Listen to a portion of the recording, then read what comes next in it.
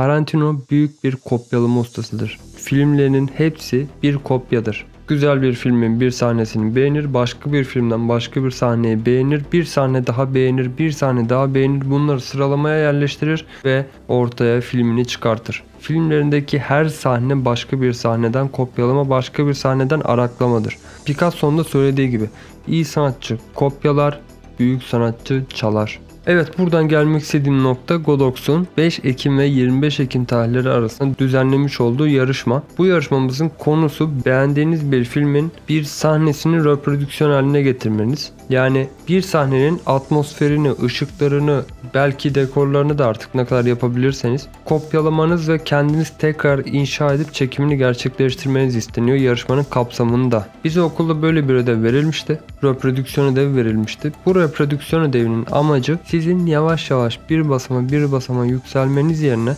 çok başarılı bir eseri taklit ederek belki 3 basamak birden atlamanız, belki 4 ya da 5 basamak birden atlamanız hedeflenir. Böyle egzersizlerde çok başarılı egzersiz aslında temelde baktığınız zaman ben bu yarışmaya hepinizin yani kendisini geliştirmek isteyenlerin katılmasını kesinlikle tavsiye ederim. Ben zaten katılacağım bu yarışmaya direkt. Hatta fotoğrafçımı da belirledim. Referans alacağım kişiyi de belirledim. Onu ilerleyen dakikalarda söyleyeceğim. Fakat bu çalıntı olayı ile ilgili sanatta çalma, sanatta esinlenme olayı ile ilgili şöyle bir kitap var. Kesinlikle okumanızı tavsiye ediyorum. Fotoğraf ve video alanında olup da kendisini sanat anlamında da geliştirmek isteyenlere önerebileceğim bir kitaptır. Bir sanatçı gibi araklayın kitabımızın adı. Hatta kitapta Mark Twain ile ilgili şöyle bir kısım var. Yani Mark Twain söylüyor bunu. Diyor ki yeni fir yeni bir fikir diye bir şey yoktur. Şu an ortaya çıkardığımız tüm fikirler, sanat eserleri, heykel, resim, müzik daha önceki birikmiş bilinçaltımızın yani bugüne kadar yaşanmış her şeyin bir mikserden geçirilerek ortaya çıkan halidir. Şu anda ortaya orijinal diye çıkabilecek, orijinal olarak çıkan herhangi bir şey olmadığını iddia ediyor. Her sanat eseri veya yaratıcı eser her zaman bir şeyden etkilenmiştir ve etkilenmeye devam edecektir diyor Mark Twain. Yani burada benim geçtiğimiz günlerde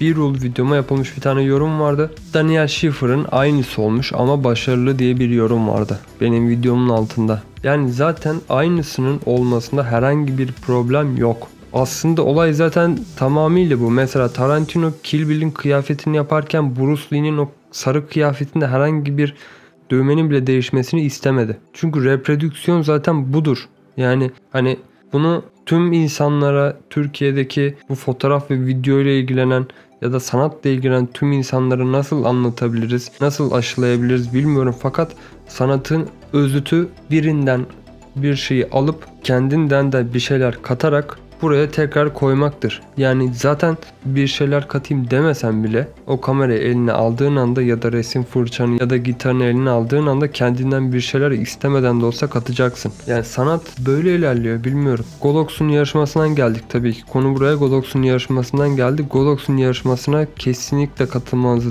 bir şekilde vakit ve fırsat yaratıp o yarışmaya katılmanızı kesinlikle tavsiye ederim. Geçtiğimiz günlerde YouTube üzerinden videolarımı izleyen bir arkadaşımız benimle iletişime geçti. Müzik grubu varmış. Klip çekebilir miyiz? Beraber bir çalışma yapalım mı dedi. Biraz konuştuk, anlaştık. Şartlarda anlaştığımızı düşünüyorum. Ben de onun müziğine çekeceğim kliple bu yarışmaya katılmayı düşünüyorum. Fakat benim örnek aldığım kişi bir fotoğrafçı. Bu sorun olur mu bilmiyorum ama katılacağım. Yine de katılacağım. Yani maksat katılmış olmak. Benim fotoğraflarını tarzını araklayacağım. Fotoğrafçı Oliver Takaç. Takaç tam olarak doğru mu okudum bilmiyorum. Oliver. Oliver diyeyim en iyisi. Oliver'ın fotoğraflarına gerçekten ba- bayıldım. Muhteşem bir ışık kullanımı, kadraj, renk yani müthiş. Ben bu Oliver'ın tarzını reprodüksiyon yaparak bir çekim gerçekleştireceğim. Fakat bunun eserleri fotoğraf. Siz de yarışmaya katılmak istiyorsanız size önerebileceğim bir tane site var. Film Grab zaten sitenin linkini açıklamada ekleyeceğim. Bu sitede yüz binlerce filmin iyi sahnelerinin yani temiz sahnelerinin en böyle net belirgin sahnelerinin fotoğrafları kareleri var birer tane. Buradan bence kendinize reprodüksiyonunu yapabilecek, tekrarını çekimini gerçekleştirebilecek bir fotoğraf, bir film seçebilirsiniz. Yarışmaya böyle katılabileceğinizi düşünüyorum. En azından katılmak isteyenlere bir güzel bir kaynak olur. Yani benim söylemek istediklerim bu kadar. Eğer kitap tavsiyesi istiyorsanız bu kitabı okuduktan sonra bir sonraki kitaba geçebiliriz. Onu da bana yazarsanız zaten devam ederiz. Ama kitap yani gerçekten kendinizi sadece çekim olarak, teknik olarak do- doldurmanızı tavsiye etmem. Aynı eşit zamanda da kültürel olarak da doldurabilirseniz çok çok daha başarılı olacağınızı düşünüyorum. Yarışmaları kaçırmayın. Kesinlikle kaçırmayın. Bu arada belki ilerleyen günlerde ben de bu kanalda fotoğraf yarışması düzenlerim diye düşünüyorum. Ödüllü fotoğraf yarışması. Güzel olur. En azından 1000 abone olursak yani çok keyifli böyle fotoğraf yarışmaları haftalık ya da aylık düzenleriz diye düşünüyorum. Godox'tan, Fujifilm'den, Sony'den belki ufak tefek ödüller ayarlarız. Yani keyifli olur. Bizim okuldan Ali Fuat Altın mesela jüri olabilir. Çok başarılı bir fotoğrafçıdır. Jüriye onu ayarlarız. Ama bir 1000 abone olsaydık Neyse kısmet. İstiklal Marşı ve kapanış.